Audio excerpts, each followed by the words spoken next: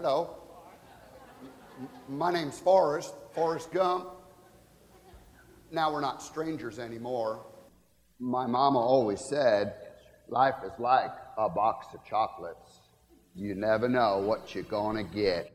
The feather, it comes and floats, and it comes down and it passes by all the, the tall trees and the church steeple, and the feather comes and lands directly, directly at my foot. And all I did was reach down and picked it up.